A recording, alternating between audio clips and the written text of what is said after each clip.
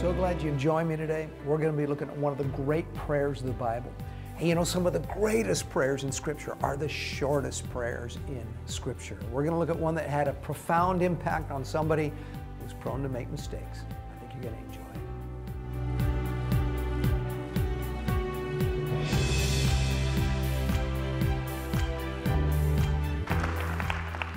it. We've been looking at great prayers of the Bible, actually studying the prayers themselves on Wednesday night. This is our eighth installment. And we're going to look at Jehoshaphat's prayer for deliverance. He was one of the kings of Judah, he was a good king. And uh, I'm going to share with you 10 thoughts from the prayer and some of the events surrounding it, some of the things that happen. And hopefully, one, maybe two of these things will be good for you. You can latch on to them and, and get something from God that you need tonight. So we pick it up in Second Chronicles chapter 20. Uh, Second Chronicles 20, verse 1. It happened after this that the people of Moab, with the people of Ammon and others with them, besides the Ammonites, came to battle against Jehoshaphat. Then some, some came and told Jehoshaphat, saying, A great multitude is coming against you from beyond the sea, from Syria, and they are in Hazazon Tamar, which is En Gedi. And Jehoshaphat feared and set himself to seek the Lord and proclaimed a fast throughout all Judah. So Judah gathered together to ask help from the Lord, and from all the cities of Judah they came to seek the Lord. Now, Jehoshaphat and Judah are threatened by the combined armies of several nations. Naturally speaking, things are looking extremely bleak for them. And here's some thoughts. Thought number one Jehoshaphat went to God first. He went to God first. Bad news came, fear struck. It said Jehoshaphat feared, and the first place he looked was to God. Even as the psalmist said in Psalm 56 3, whenever I'm afraid, I will trust in you. He didn't call on the king of Israel to join forces between Israel and Judah and fight the enemy. He didn't try and hire mercenaries from some of the surrounding nations, as often happened in some of these scenarios as they unfolded in the scriptural record. But he went to God first. It wasn't a final, last ditch attempt after all human resources had failed. It was God first. Jesus said, Seek first the kingdom of God. Everybody say first. Seek first the kingdom of God, and we need to seek first the God of the kingdom. Not second or third or fourth. And it's not that God will refuse to help us unless we go to Him first. That's not the case. It's just that we fail to honor Him when He's relegated to the status of some hope so backup plan after I try everything else. So, first thought is God first. Whatever you're facing, God first. In your marriage, seek God first. The job situation, seek God first. You got a, a, a teenager that's acting like they don't have a brain, God first. And we all have been there. It's, it's amazing how some parents get amnesia. But God first. Bad doctor's report, God first. Not after we exhaust every avenue of human help and then, oh, well, I guess I'm going to have to go to God, but God first. And then, second thought is, he set himself to seek the Lord. It's very interesting, and, and it, it reads slightly different in different translations, but that's a good translation. He set himself. He set himself to seek the Lord. And set has several shades of meaning in the Hebrew language. It's really an interesting word. One meaning is to focus your total attention. So when he set himself to seek the Lord, he focused his total attention. There's a second meaning, it's actually a technical meaning. It means to hand something over to another or to transmit something to another. And it's used in both of those ways throughout Scripture. So, to focus your total attention and to hand something over to another. Put together, Jehoshaphat focused all of his attention on putting his problem into God's hands. And we want to do that, hopefully, before we are finished tonight. Take our problems, take the things that are worrying us and robbing us of the quality of life that God wants us to have, put our focus on Him and put those things in His hands, which means they leave our hands. 1 Peter 5 7 says, Casting all of your care upon Him, for He cares for you. So Jehoshaphat set, he set himself to do it. He was determined. And I just want to say to you make up your mind that tonight you will release your problems to God, not your responsibilities, but your worries. We're going to give them to God, all right? Thought number three, he proclaimed a fast. Now, fasting does not change God, and it doesn't convince him to do something that he's otherwise not disposed to do. And some people think, all right, I, I prayed and God didn't answer, so I'm going to fast and God will see me suffering and, and this will somehow change his mind. Fasting does not change God at all. It doesn't change his mind. It doesn't make him more disposed to, to give you favor and grace than he would otherwise do. What fasting does is it helps change us. We're the ones that need changing, not God. It helps us to get into a position to hear from God and into a position to receive from God. And in fact, it literally quiets down the body and its desires if you fast long enough. And it is a way of humbling ourselves before God. And it is part of the Christian life. Every Christian should fast from time to time. Jesus said in his teaching, and when you fast, wash your face, you know, put on your clothes and, so that you don't appear to men to fast. He didn't say if you fast, he said when you fast. He said, You fast to your Father who sees in the secret place, and your Father will reward you openly. So it is part of our Christian life. And frankly, when you get serious enough about getting an answer from God that you'll begin fasting, generally the answers you seek are not too far off. All right, fourth thought Jehoshaphat enlisted others to pray with him. He proclaimed this fast, and everybody gathered together in Jerusalem to pray. Ecclesiastes 4 and 12 says a threefold cord is not quickly broken.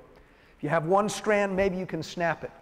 You wind two strands together, it's tougher. You wind three, and it's not quickly broken at all. And the idea is there's strength because sometimes when you're down, the other person's going to be up. They're going to lift you up. They're going to encourage you when you're, you're faltering, and, and vice versa. Jesus said in Matthew 18 19, if any two of you agree on earth concerning anything you ask. It'll be done for you by my Father which is in heaven. Don't do this thing solo, friend. You need to get friends and enlist the help and the prayers of others. And so we move on and we actually begin to get into the prayer as Jehoshaphat is praying in verse 5. Then Jehoshaphat stood in the assembly of Judah and Jerusalem in the house of the Lord before the new court and said, O Lord God, of our fathers. Are you not God in heaven? And do you not rule over the kingdoms of the nations? And in your hand is there not power and might so that no one is able to withstand you? Are you not our God who drove out the inhabitants of this land before your people Israel and gave it to the descendants of Abraham, your friend, forever? Now, as he prays, he actually acknowledges three things, and they're pretty important things. Number one, he acknowledges relationship. Number two, he acknowledges rule. Number three, he acknowledges the record. Relationship, rule, and the record. He starts out by saying, God of our fathers. That's covenant talk. And he even brings up our father Abraham. God entered into a covenant with Abraham, an agreement with Abraham and a, an animal's blood was spilled, and that covenant was ratified by the, the shedding of blood. In fact, the Hebrew word for covenant that we read here is berith. It means to cut where blood flows. And when they would enter into covenant, one party would say, All right, all I have I make available to you, and I assume all of your, your debts and your liabilities, and I yield all of my strength to you. And the other person says the same thing, All right, you know, I, all of my strength, everything I have, I make it available to you, and I also assume your debts and liabilities. You get in trouble, I'm going to go to bat for you. If I get in trouble, you come to bat for me. Now, obviously, God was on the losing end of that, that covenant. on his part, you know, he has no liabilities. He has all of the resources. And on Abraham's side, it's just the opposite. And actually, the New Testament word sort of brings out God's position even better. It's a, it's a word, Greek word, diatheke. That's the New Testament word for covenant. Means the agreement that we have through the shed blood of Jesus Christ. But the Greek word literally means an unequal covenant, where one party does all of the giving and the other party does, gets to do all the receiving. Can you guess which end we're on? All right, so it's covenant talk. He acknowledges this covenant first, relationship. Well, we have a better covenant established upon better promises. Jehoshaphat, Abraham, they were servants. We are sons and we are daughters. It's a different relationship, it's a better relationship. I was in the house studying today and I heard somebody rummaging around in one of the rooms. I came in there, Harrison, our oldest son, had come over and he was looking for something. He didn't even knock. Just came in the house and started taking stuff. He acted like he belonged or something. He does. And it wasn't like, what the heck are you doing here? It's like, hi, son, what's up, man? It's family. I'm his father. We have a relationship. I have a relationship with God. He's my heavenly Father because of the shed blood of Jesus. And I realize I'm on the receiving end of this. But what I can give, Lord, here I am. You know, here's my time, here's my mind, here's my voice, you know, here's my body. If you can do anything with it, you've got it, baby. But I realize I'm on the positive end of it. But I do have a relationship. So he acknowledges that in prayer. And when you start praying, you need to remember you have a relationship with God. You're not some outsider trying to convince some unwilling, you know, person that you have some, you know, uh, legal claim. It's relationship. And then he acknowledges rule. He said, You rule over the nations and no one can withstand you.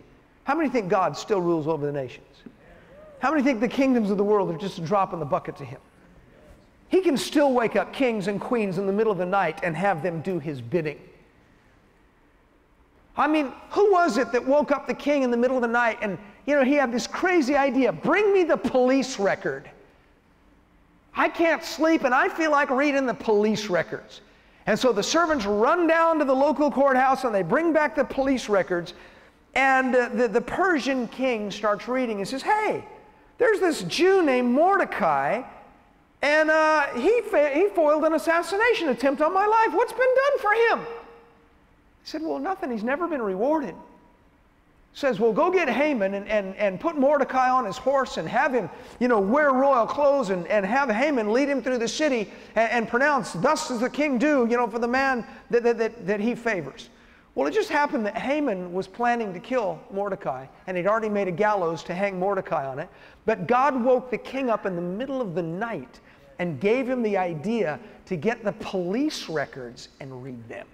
He acknowledges the record talks about what God has done for them in the past. Again, in verse 7, um, he says, You gave this land, you know, to the descendants of Abraham, your friend forever. You drove out the inhabitants. He starts talking about things that God had done for them in the past. And I think it can be very valuable to take a little time and think about what God's done for you. You know, the psalmist, and I quote to you in Psalm 77, he said, I meditate within my heart, and my spirit makes diligent search. What's this internal search all about? Here's the questions he asks Will the Lord cast off forever? Will he be favorable no more? Has his mercy ceased? Has his promise failed? I will remember the works of the Lord. Surely I will remember your wonders of old. I will meditate on all your work and talk of your deeds. Has God ever done anything for you or for someone you know? Has He? All right, you facing challenges now? It would do you good to acknowledge some of the past victories that God has wrought in your life. I dare say there's not a person in here that God hasn't helped in one way or another. I mean, the fact you're alive and you're breathing says something. There's some, some wild boys and wild girls in here. It's a miracle you live long enough to get saved.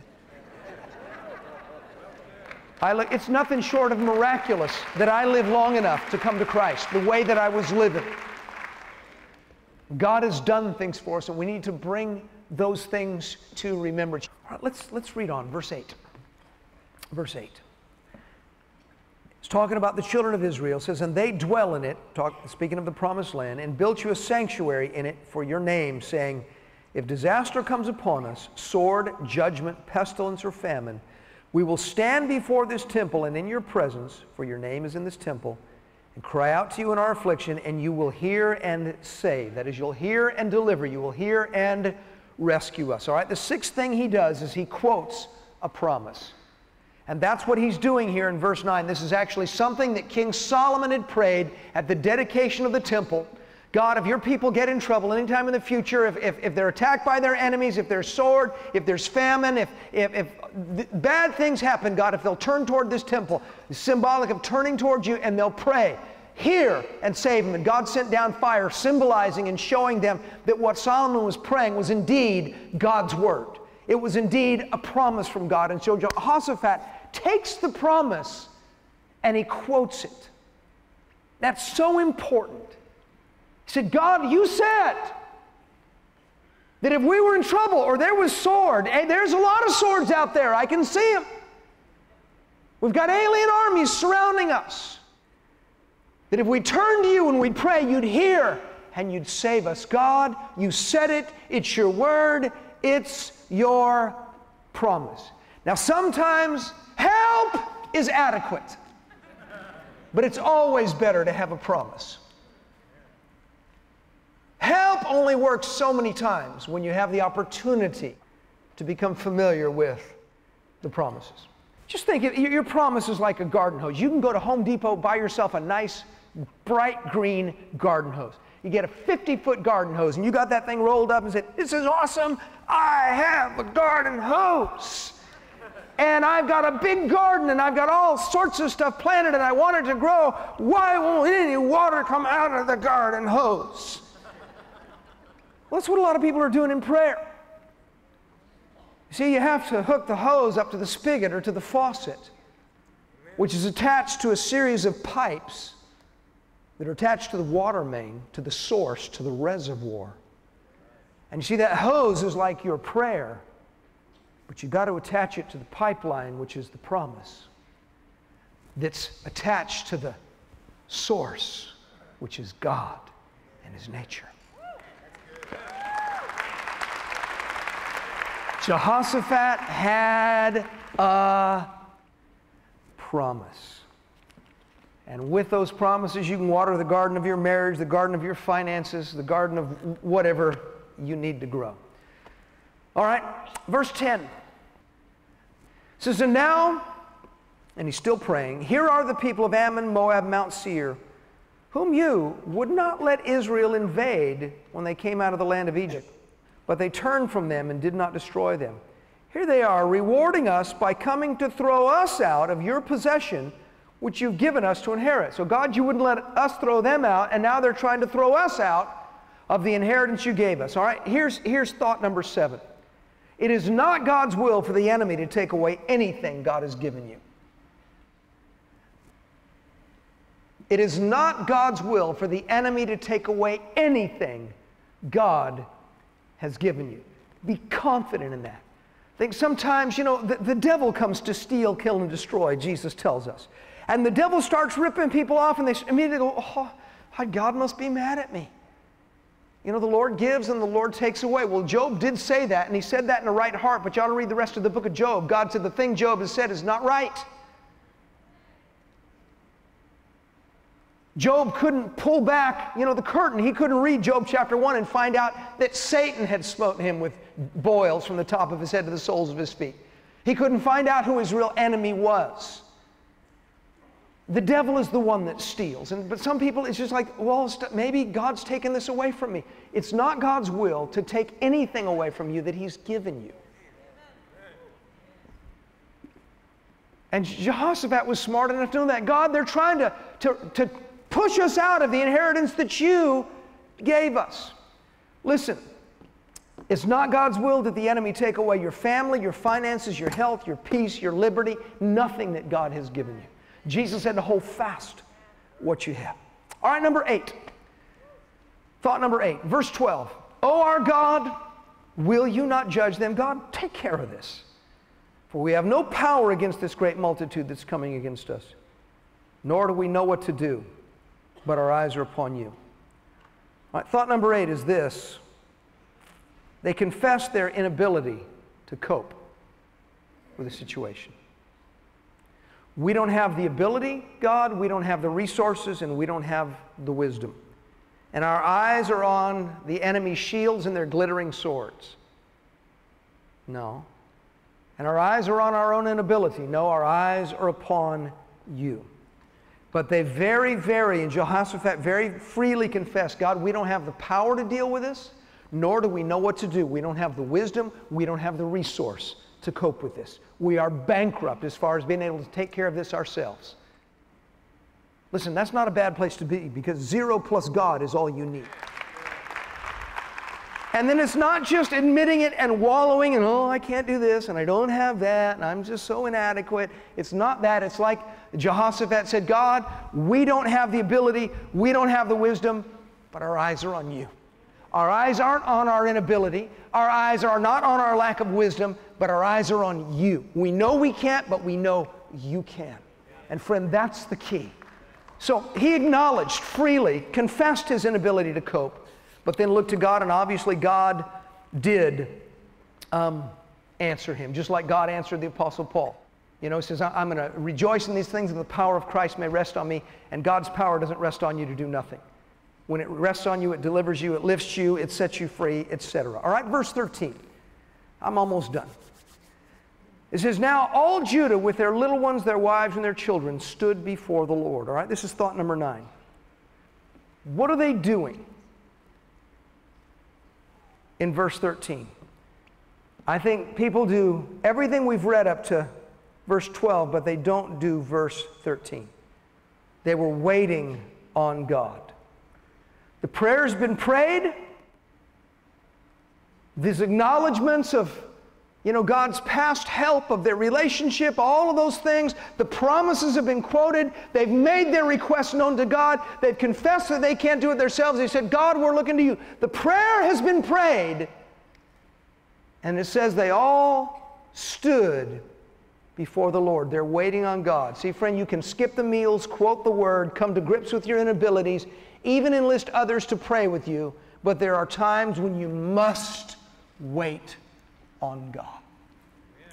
Just tap your neighbor and say, wait. You wait for direction from the Holy Spirit. You wait for Him to impart what you need. An army would never dare move forward to engage the enemy without waiting for orders and without waiting for supplies.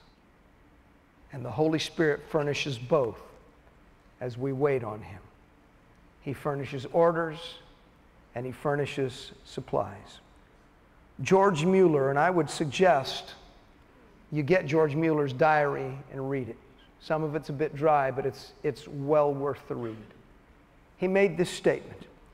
He said, The most important time in prayer is the 15 minutes after you say amen.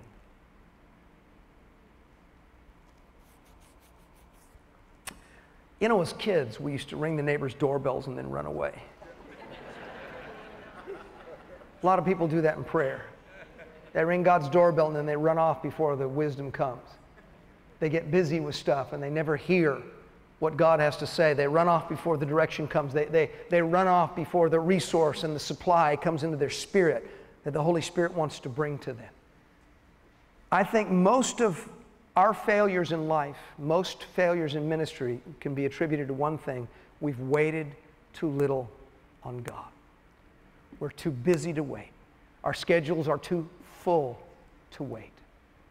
We're too nervous to wait. I mean, my goodness, if you sit quiet, if we sat quiet for five minutes in here, it would be so uncomfortable for some people. It's like,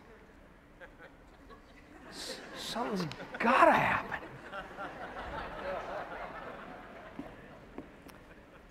Oh, they waited on the Lord.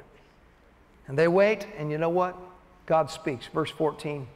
Then the Spirit of the Lord came upon Jahaziel, the son of Zechariah, the son of Benaiah, the son of Jael, the son of Mattaniah, Levite of the sons of Asaph, in the midst of the assembly.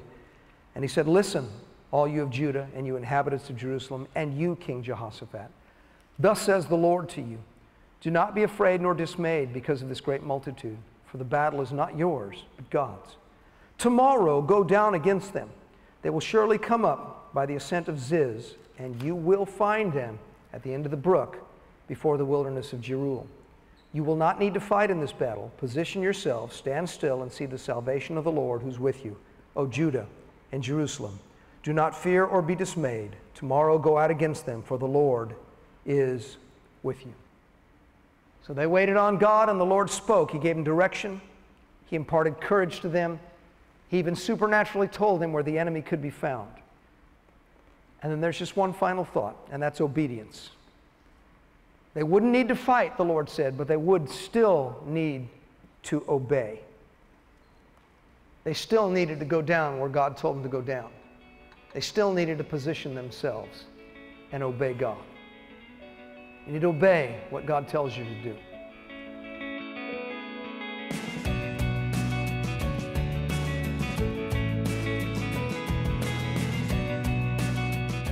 I hope that you got something out of that message today. And my prayer is that you will do something with it.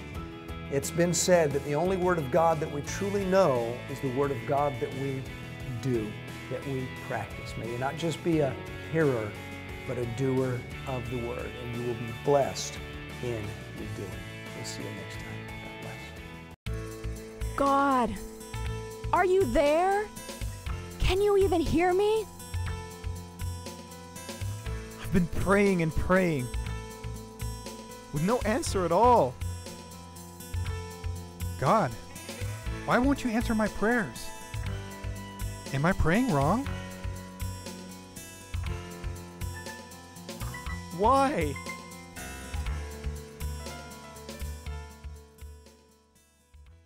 You know, the Bible is filled with the stories of ordinary people like you and like me that prayed extraordinary prayers. They prayed great prayers that God answers, prayers that brought healing, prayers that brought deliverance, prayers that brought guidance. And I've done this series on great prayers of the Bible. We actually look at the prayers themselves and we discover some secrets and some truths that can help us pray great prayers in the circumstances and the situations of our life. I know it will be a blessing to you. Great prayers of the Bible. Bayless Conley shares prayers that get results in his message series, Great Prayers of the Bible. Request your CD or DVD copy today when you call the number on your screen or visit answersbc.org. God is there. He can hear you, and He wants to answer your prayers. Request your copy of Great Prayers of the Bible today.